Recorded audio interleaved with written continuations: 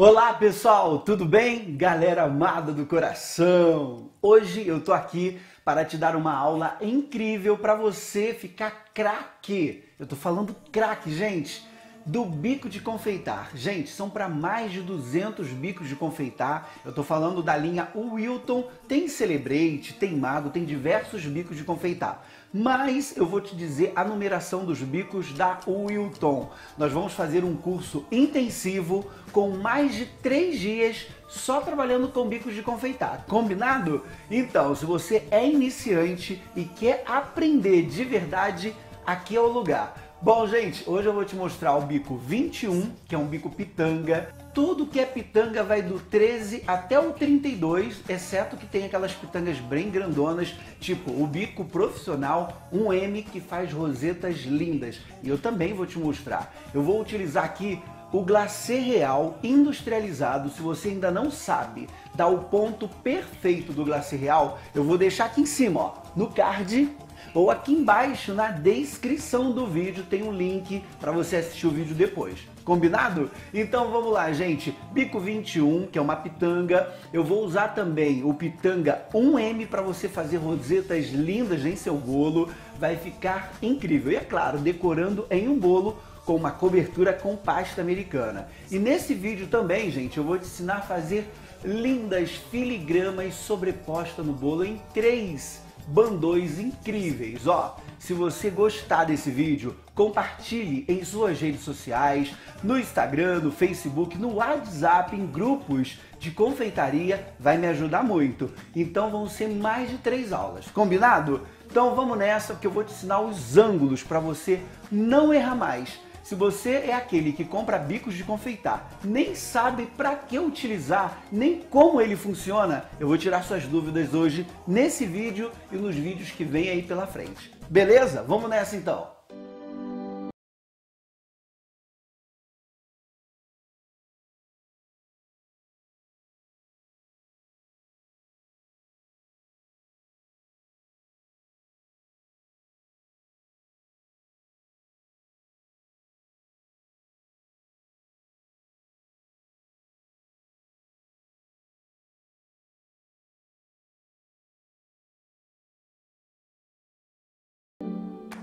Antes de confeitar qualquer bolo, você deverá primeiro conhecer o ângulo da confeitagem com bicos.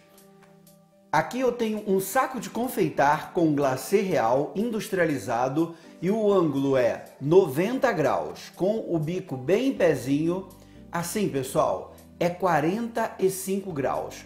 E nunca esqueça de confeitar com os dedinhos aqui, ó, para que a manga de confeitar não fique tremendo na hora que você estiver confeitando no seu bolo. Vamos de novo? Ângulo de 90 graus, 45 graus, 45 graus 3 horas para você que é canhoto, ou 45 graus 9 horas para você que é destro e o ângulo de 6 horas, com o bico bem pezinho. Aqui, como você pode ver, eu tenho o bico pitanga 21. Eu vou tocar no ângulo de 45 graus, dois dedinhos para não tremer a manga de confeitar. Eu vou tocar, pressionar, pressionar, pressionar, parando de pressionar, eu vou saindo. De novo, toca, pressiona, pressiona, vem parando de pressionar e sai, para criar essas lindas conchas.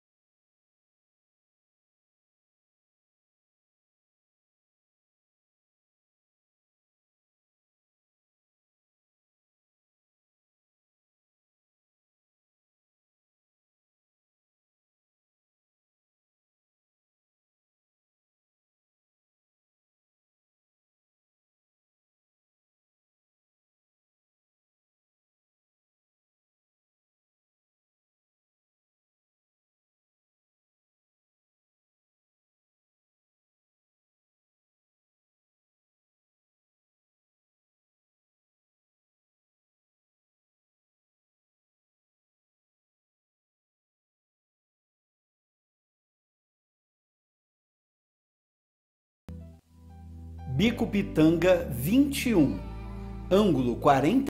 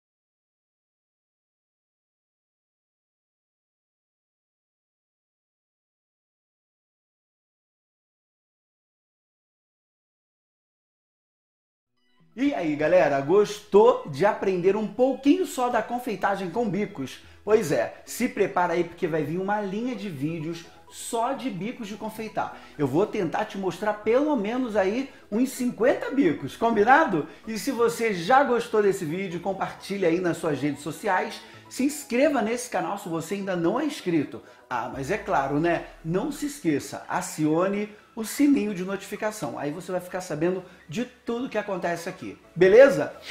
Um beijaço no coração, fica com Deus e muito obrigado por nos assistir. Tchau, gente! Te vejo em um próximo vídeo.